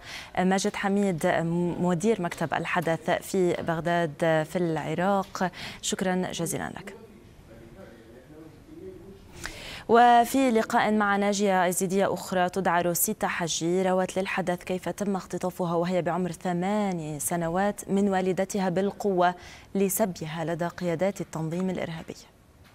قالوا لها لا أنت بنتك لازم نأخذها. أخذوني؟ كان عمرك ثمان سنوات. عمري ثمان سنوات إي نعم. إيه أخذوني من عندها قالوا بس يومين. هذا اليومين راحوا صاروا تسع سنين. اليومين؟ اليومين راحوا صاروا تسع سنين أنا ما شفت أمي لحد هسه. تسع سنوات لم لم ما ما تعرفين أي شيء عن أمك وما شاهدتيها؟ لا شاهدتها ولا أعرفها ولا ولا شفتها أصلا. أخذني لعند أخذوني لبيت حاج تيسير. اللي هو والي العراق والشام. اللي هو والي العراق والشام. آه زوجاته اثنين كانوا وكان عنده ثمان أطفال. أني داخل مخزن كنت أنام. المخزن عبارة عن حشرات إيه، صراصر فئران كل شيء. شنو هو السبب؟ منه السبب زوجاته كان لأن مو هو اللي كان يسوي بيه هيك كانت كانت الزوجات اللي تسوي هيك إحنا كنا تحت ضغط. من النساء. كنا تحت ضربهن تحت مذلتهن تحت عنفهن. يعني إيش قد ما أقول لك هاي ما أكفي ولا أوفي. يعني نسائهم كان أسوأ ما مر علي بحياتي ما كان عمري ما صاير عمري 12 سنة. ما كنت داخلة عمر ال 12 سنة. آه، زوجته عرضته وقالت لازم تغتصبها.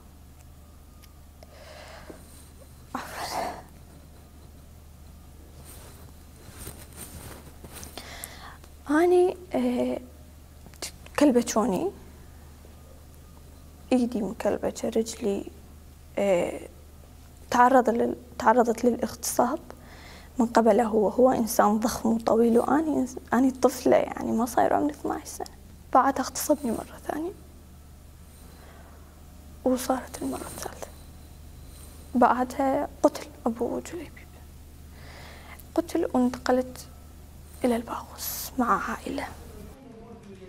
من القاهرة ينضم إلينا الآن لمناقشة هذا المشهد هذه المقابلات. الباحث في شؤون الجماعات المسلحة منير أديب. أستاذ منير مساء الخير لحضرتك.